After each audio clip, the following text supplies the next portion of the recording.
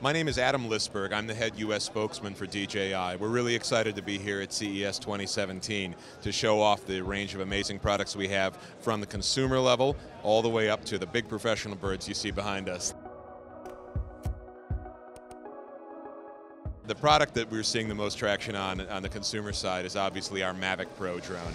It is packed with features, it's powerful, it's safe, it's stable, and it folds down to the size of a water bottle.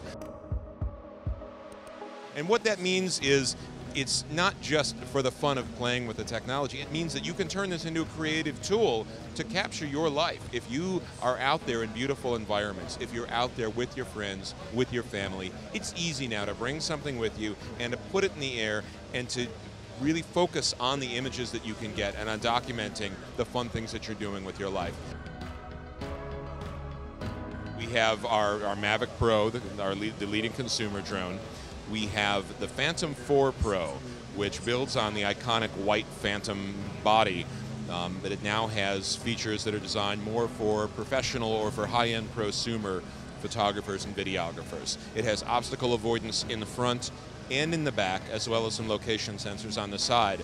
Uh, and, you know, that obstacle avoidance sensor, by the way, it's not just a, a sensor that says something nearby, I stop, what do I do? It actually builds a 3D map uh, of everything it sees around it to help identify not just where you are, but what's the best way to navigate through. You can simply point to a location on the screen, say go there, and the, the drone will calculate the best way around it to avoid any obstacles to complete that mission.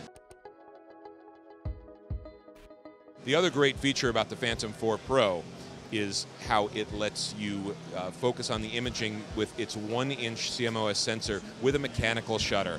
No more problem with a rolling shutter. No more of those strange figments that come in when you're trying to deal with a purely electronic shutter. If that kind of image quality, if being able to really work at the edges of what's possible, pull out great details in low light, uh, have a, a truly uh, glorious visual image at high speeds and moving in different directions, that's what the Phantom 4 Pro is made for.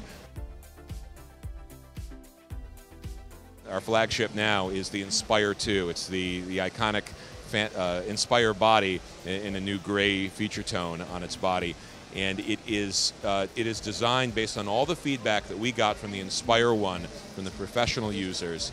It's designed to let people put this into the air and build it into a professional video or filming workflow. We have a new camera designed just for this product, the X5S camera, which has all of the, the rich detail, the flexibility, and the, uh, the resolution that you need to be able to film a feature film with, if you like. In addition, it is designed to have HDMI outputs from the controller and an SSD control system. So whether you need to do a live stream for a TV broadcast or whether you need to capture uh, details through Apple ProRes or H.265, you can save that uh, kind of data on a new SSD stick as the, as the data management solution in there. So we've been listening to all of the feedback that we've gotten from our customers. They love our products and they always want more and we're trying to satisfy them.